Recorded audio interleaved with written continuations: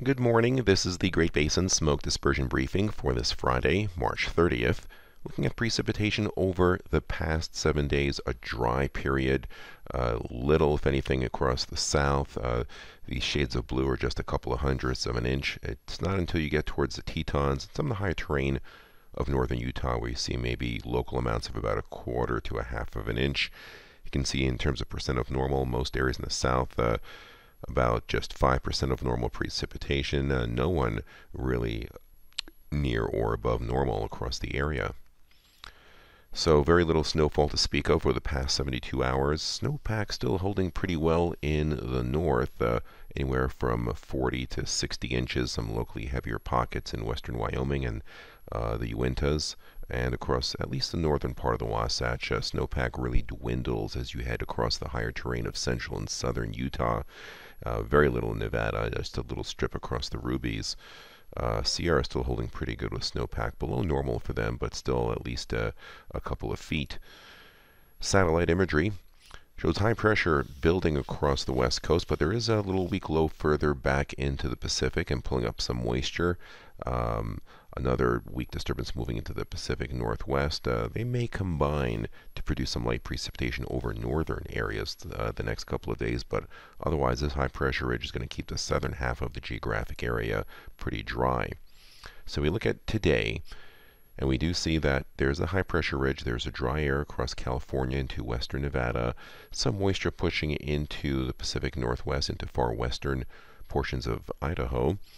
Uh, dispersion overall still pretty good. Lots of areas in the white. That's due to uh, the proximity of these strong winds and the fact that high pressure is still well off to our west. Uh, transport flow mainly out of the west and southwest. Strongest speeds up in the north and uh, towards Wyoming. Vertical mixing heights getting good this time of year. Yellows are about 3,000 feet above ground level. Oranges about 5,000 feet. And good dispersion again tomorrow. We have that system with some clouds and light precipitation across Idaho and into Wyoming. Uh, drier to the south. Uh, good dispersion given by those white areas. Um, mixing heights and transport winds. Actually, sorry for the bad map. We only have uh, uh transport winds here on the left. The other map is incorrect. Uh, but it does show pretty good uh, westerly flow. The greens are maybe 15 to 20 uh, miles per hour, a little bit stronger up to the north. Vertical mixing, even though we don't have the map here, still quite good again, several thousand feet above ground level. Now on Sunday, again, similar story, deeper low forming over British Columbia. We do have continued clouds and moisture moving into parts of Idaho. Excellent overall dispersion, uh, areas in the white.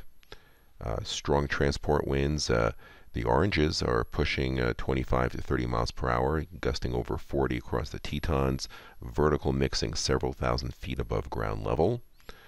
The Utah Clearing Index looking pretty good uh, Friday, Saturday, and Sunday, actually improving in time, very high levels there. Precipitation over the three day period from Friday through Monday mainly confined to about a quarter inch to a tenth of an inch across the mountains of Idaho and uh, locally higher pockets close to an inch across the Tetons of Wyoming, dry elsewhere further south. Now going into Monday, similar pattern, disturbances, weak ones coming out of the northwest. Uh, this one will brush some clouds and moisture a bit further south across central Nevada and central Utah. Excellent overall dispersion. Um, similar pattern on Tuesday, more moisture gathering offshore. Wednesday, this moisture starts building. We should see significant amounts of precipitation and initially high snow levels across Idaho and Wyoming. Excellent overall dispersion. Thursday, that moisture deepens. There's more moisture further offshore. So it looks like a, a wetter week. Uh, very little in the way of high pressure, so overall dispersion stays good as well. Uh, precipitation, this is just for days 4 through 5, so from Monday morning through Wednesday morning next week. Some light amounts across the higher terrain of Utah and into uh, parts of Wyoming and um, Idaho.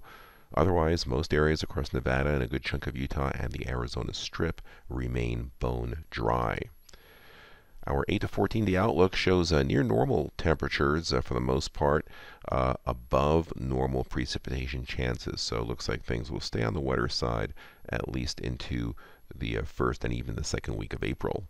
This concludes our briefing. Have a great day. Our next smoke briefing will be this coming Monday.